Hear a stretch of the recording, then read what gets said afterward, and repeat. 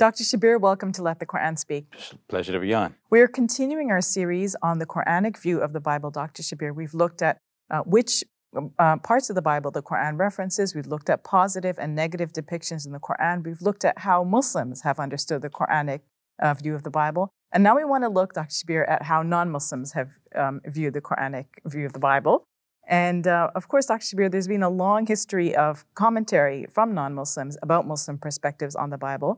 And um, maybe you can identify the dilemma that they've pointed to, right? They like to, to, to needle Muslims and say, you know, there's this dilemma here. So tell us a little bit about that dilemma that they've identified. Yes, uh, uh, often in, in Muslim Christian uh, dialogue on, on this question, uh, our interrogators or interlocutors will, will say, okay, so your Quran tells you to believe in the Gospels uh, and, and in the Bible more generally.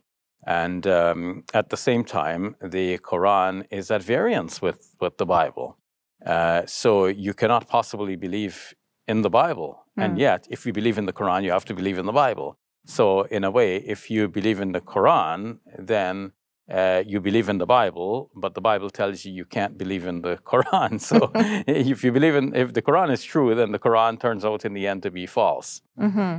And uh, uh, you know, this has written, uh, reached such an apogee that um, uh, in a recent debate with, uh, between a Muslim and an atheist, uh, the atheist said, uh, you know, I can use that argument which the Christian apologists are using, mm.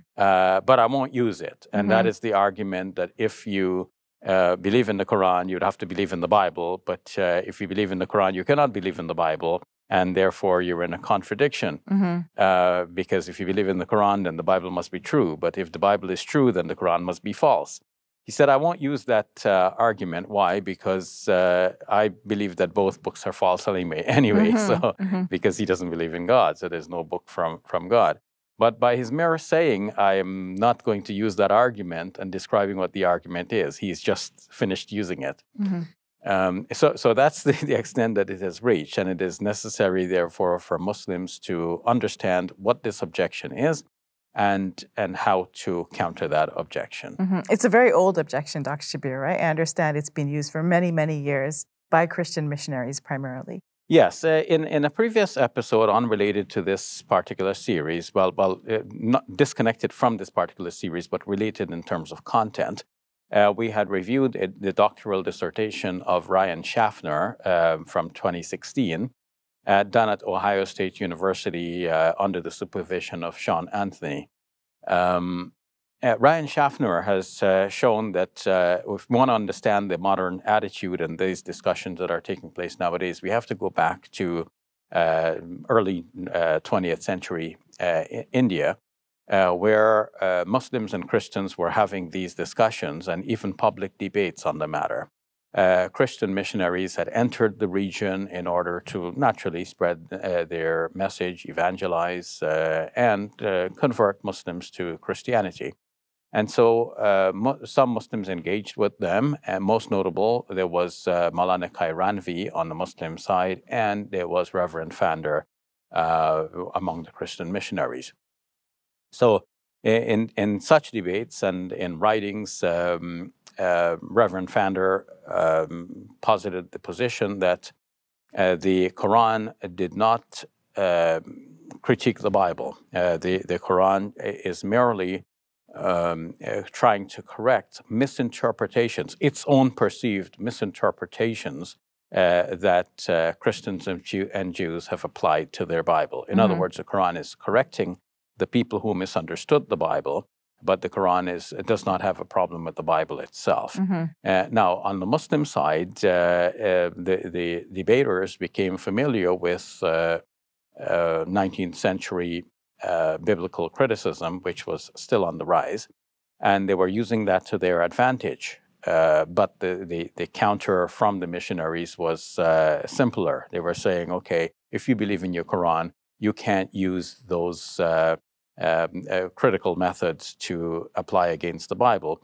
because your Quran is telling you you ought to believe in, in the Bible. The Quran mm-hmm. is verifying and acknowledging the truth uh, of the Bible. Mm-hmm.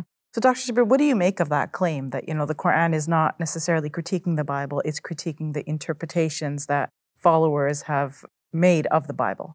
Yeah. So, um, uh, I I would like to elaborate on that on that particular claim in in in discussing my own view uh, in perhaps in a separate segment. Okay. For the moment, if you don't mind, I would like to trace out a little bit more the history of this idea uh, that, that is uh, thrown at Muslims, uh, as described by Ryan Schaffner and by others as well. So, Ryan Schaffner has uh, um, traced the various strands of thinking that, that have led up to the modern discussions about this. One strand uh, is uh, what has been promoted by the, a, a, a, journal entitled The Muslim World. And now I'm, I'm deliberately pronouncing it this way, let's see why.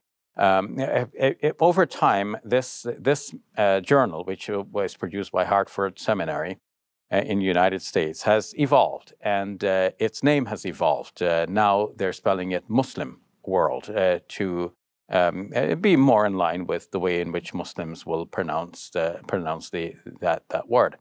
And, uh, and now a co-editor is uh, Yahya Michot, who is uh, a, a, European who converted to, uh, to Islam. So, so that shows a new direction uh, in, and a new attitude in, in approaching Islamic studies through that uh, journal. But for the longest time, the main contributors to that journal, or many of the contributors, were missionaries themselves, Christian apologists, and, and others who are studying Islam from the outside. And um, uh, for, they, they took generally the view that uh, the Quran does not criticize the Bible and uh, that the Quran is only criticizing uh, misinterpretations of, of the Bible. Mm-hmm. Among these uh, persons, we have the famous uh, Reverend Samuel Zwemer, who has written much about Islam and, and Muslims and about the Quran. We also have Arthur Jeffery, uh, who has, uh, again, written much about Islam, and he has uh, uh come to be known in modern academia as a well placed uh, academic. Uh, so we, can see the academic discussions about Islam and Muslims and about the Quran taking place in European languages and, and English language um, uh, the English language uh, without much input from Muslims for a long time. Mm-hmm. Uh, so this was all studied from the outside, looking looking in. Um, among the German scholarships, uh, among among the German German scholars, we have um, Abraham Geiger, uh, who uh, wrote, wrote a book entitled something like What Muhammad Has Borrowed From or Taken From uh, the Jewish Scriptures. And uh, he didn't limit himself to comparing what the Quran has in common with Jewish scriptures, but he also showed what the Quran has in common with Jewish lore. And uh, the uh, upshot of what he wrote is that the Prophet Muhammad, peace be upon him, didn't really know what he was doing. Uh, he uh, thought that what he was presenting as the revelation from God uh, is in line with the previous scriptures, but in fact, he was getting it by word of mouth and hearing it from uh, fables and tales and uh, what was going on around him. He put them all together, thinking that all of this is in line with the Bible, not realizing that some of this was coming from, uh, you know, Jewish, Jewish lore.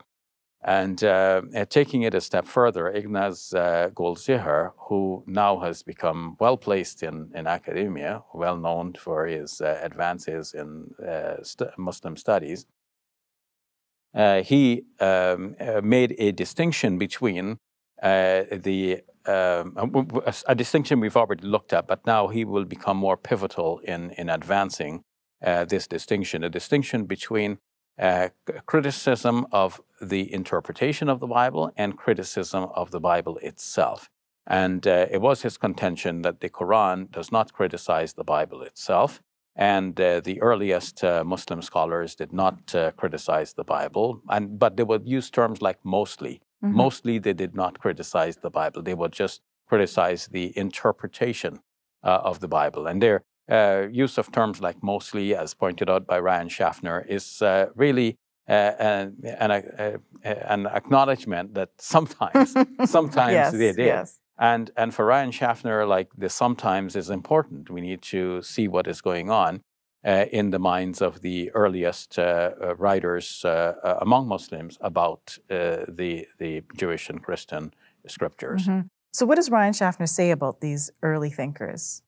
Well, he has actually, um, apart from the fact that he's looking at this um, development among the Christian apologists and um, and missionaries, uh, like on the one hand, he's showing, okay, these uh, folks had the idea of using the weapon of the enemy against them, mm-hmm. and um, uh, so he's showing how you know they had their own internal discourse going on, um, uh, separate from what the Muslims themselves were were thinking and and writing about.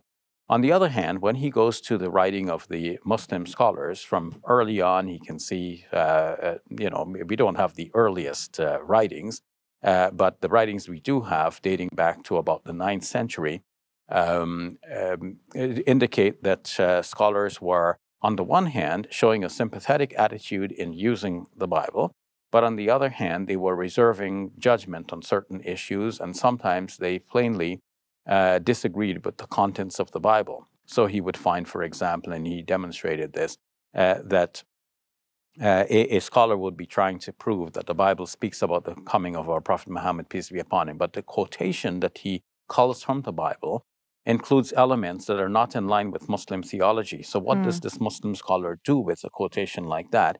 He modifies it so as just to retain the gist that would uh, carry his point across without uh, incorporating the non Muslim elements uh, of that uh, particular quotation mm-hmm. which means that he, he is accepting the narrative from the Bible uh, in principle, but he is uh, only doing so by shaving off the elements that he thinks to be not really in line with Muslim theology. That means he accepts but doesn't accept. Mm-hmm. He accepts it on the whole, uh, but not with all of its parts. Mm-hmm. Uh, and uh, uh scholars like uh, Goldziher had uh, said that, okay, it was Ibn Hazm uh, from the 11th century who uh, really uh, advanced the idea that uh, the Bible is corrupt according to the Quranic view.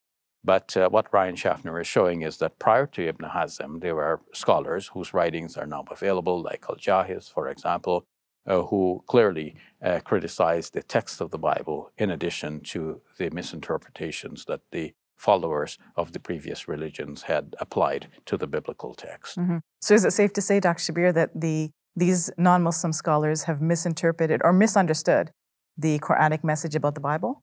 Yes, they have uh, not only misunderstood the Quranic message about the Bible, uh, but they have also misunderstood the Muslim writings mm. about the Bible. Mm-hmm. Uh, so, whereas in fact, uh, looking at the Quran, they took the positive verses, uh, the verses of the Quran that speak positively about the Bible, uh, as, as, as the overriding rule, and then they diminished the importance of the, the, negative verses. They did the same thing also with the Muslim writings. Mm-hmm. So uh, now this is being corrected in modern uh, literature. All right, we'll leave it at that, Dr. Shabir. Next time we will look at your perspective on this whole issue. Sure. Support us today and help us share the message of Islam with people across the globe. Thank you, and may God bless you and your loved ones with the very best always.